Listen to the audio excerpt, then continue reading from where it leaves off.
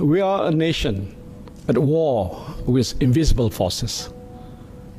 The situation we are now facing is unprecedented in history.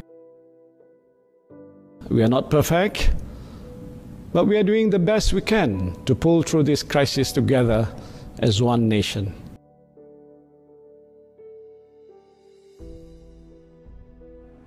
Coronavirus. It's a new anonymous, making its way around the universe, keeping us anxious, hopeless, and helpless. This new ferocious friend is making us wash our hands every now and then.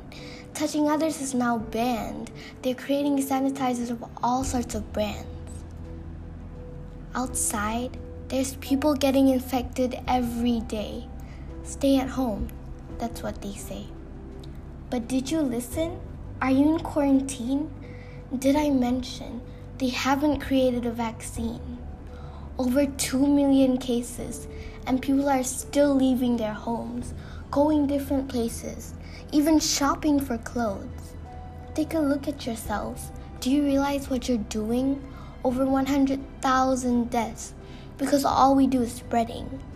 Don't you want it to stop? Then we'll all have to cooperate.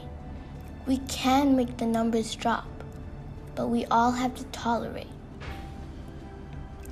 Social distance from the outside. Don't cough with your mouth open wide. Please stay at home and wash your hands. It isn't that hard to just follow these simple commands. And to all the staff at the hospital, thank you for helping patients recover, to show us it is possible as long as we have faith in each other. Thank you for working so hard so our worries we can disregard. We appreciate you with all our heart, for you have been working with all your might. Thank you to every single dedicated doctor and nurse. Let's stay at home for them because they stay at work for us.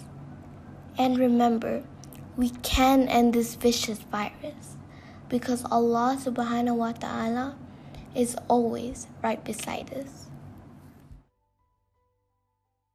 And God willing, we'll come out stronger when this crisis ends and the dust settles, inshallah.